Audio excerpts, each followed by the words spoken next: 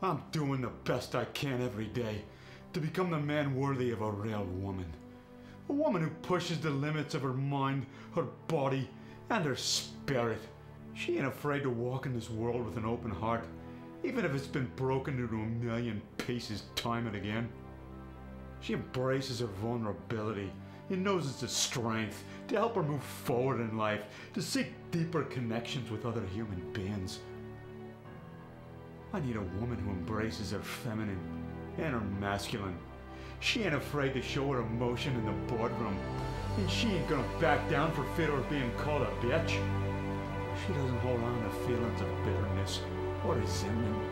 When she does something, she puts her whole heart into it, whether she's nurturing her family or taking on the world and the cause she believes in. She's tough as nails, she is. She doesn't need to paint her face every morning to look pretty.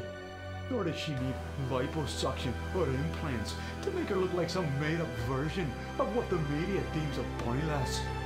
She cares for her body from the inside and out with a healthy lifestyle and positive mindset, without the use of pills and fashion to make her feel dead brilliant.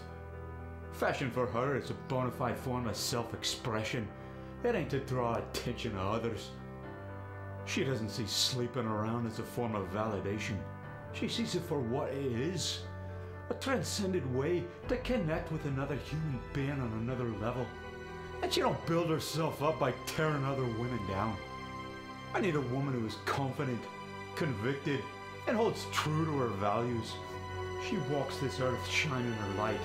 She knows the beauty of who she really is. She is enough. She is woman. She will be mine.